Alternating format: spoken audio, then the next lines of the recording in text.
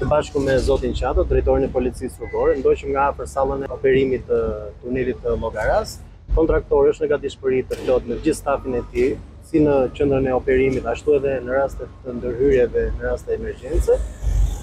Kemi marrë të gjithë angazhimin e duhur së bashku me policinë rrugore, jemi në koordinim të plotë.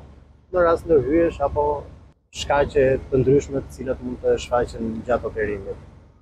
Policia e Shtetit në bashkërendim me Autoritetin Rrugor Shqiptar, po koordinojmë gjithë masat në zbatimin e legjislacionit rrugor në hyrje e dalje të tunelit. Ne së bashku, siç tha dhe drejtori, inspektuam sallën e monitorimit, e cila bën një monitorim të plotë 24 orë në 24 të tunelit, qoftë me pamjet filmike, por edhe me matës të shpejtësisë. Në kuadrin e rritjes së parametrave sigurisë, kjo, por dhe për një manaxhim të mirë të trafikut rrugor në hyrje dhe dalje të tunelit. Policia e Shtetit, nëpërmjet trupës së ndërhyrjes teknike, pra TNT, ku kemi përbërje punonjës policie, punonjës të zjarrfikëses, por dhe të urgjencave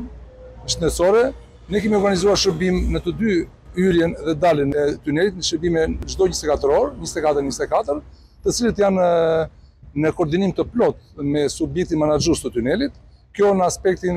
e koordinimit të gjithë masave në zbatim të legjislacionit rrugor për tunelet. Shërbimet tona kanë një komunikim të vazhdushëm dhe shkëmbejnë informacion në kohë reale për çdo shkelje të normave të përdorimit të tunelit dhe në raste të veçanta janë të gatshme për të ndërhyrë, për të stabilizuar trafikun, por edhe për të ndërhyrë dhe për të ndëshkuar në rastet ku ne kemi shkelje të normave të përdorimit të rrugës, ose më saktë të sinjalistikës rrugore që është vendosur në hyrje dhe dalje të tunelit. Aktualisht, Këto struktura funksionojnë, jemi në një trafik normal, ka ditë që janë kryesisht fundjava, pasi ne jemi në pikun e sezonit turistik, ka një fluks të jashtëzakonshëm të mjeteve, janë rreth 15.000-20.000 mjete që qarkullojnë në ditë në fundjavë, që është një numër shumë i lartë i mjeteve për kapacitetet e aksit rrugor dhe tim orikumit, pra është një aks rrugor i cili përballon një numër shumë të madh mjetesh gjatë fundjavës, prandaj dhe prezenca jonë është më e dukshme, më evidente për shkak të rritjes së parametrave të sigurisë, por edhe për një normalizim të të trafikut. Po është shumë e rëndësishme që vetë përdoruesit e rrugës do të jetë të ndërgjegjshëm të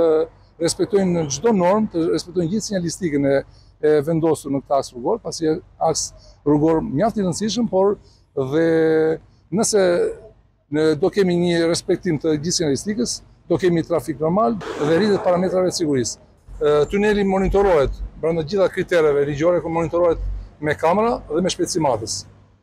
Pasi është një vepër e rëndësishme dhe një vepër që ka të bëjë drejtpërdrejt me, me sigurinë, jemi gjatë sezonit turistik, Është shumë e nevojshme që të kemi një trafik normal, por është dhe shumë e nevojshme që të kemi akse rrugore të sigurta për çdo përdorues rrugësh.